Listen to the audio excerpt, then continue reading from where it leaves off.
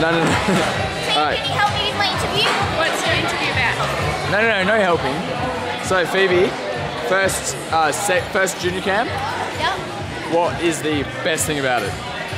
Um, everything. If you could transform into James Benny, why would you be thankful? Why would I be what? Thankful. Because he's so smart. And if you, why would you be ungrateful, unthankful? Because That's you.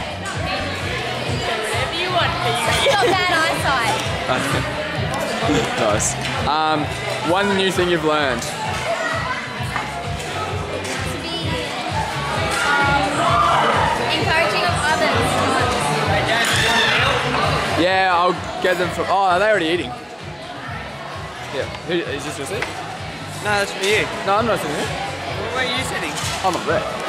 Do you want to take this up then? I'll, I'll place it up for you.